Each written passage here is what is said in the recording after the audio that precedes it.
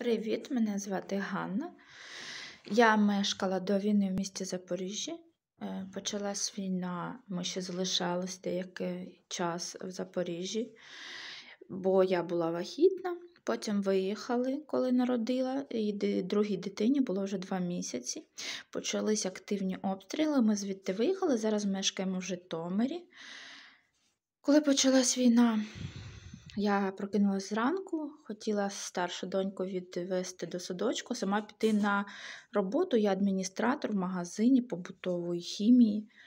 Я розуміла, що вибору немає, треба йти, бо люди будуть е, приходити, будуть брати товари першої необхідності, буде ажіотаж і буде паніка.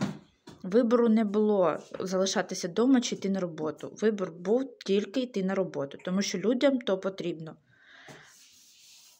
Саме страшний момент, який ми пережили, це 25 числа на другий день війни.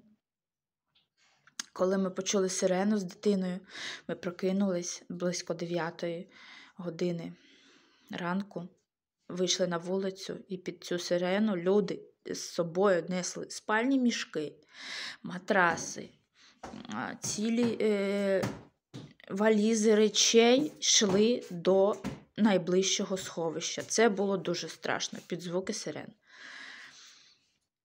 Якось так, але зараз набагато все впевненіше. Е, Віримо в ЗСУ, віримо в перемогу.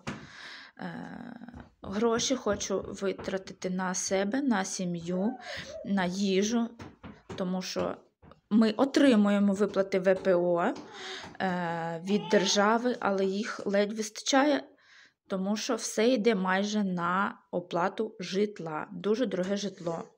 Ми винаймаємо житло зараз.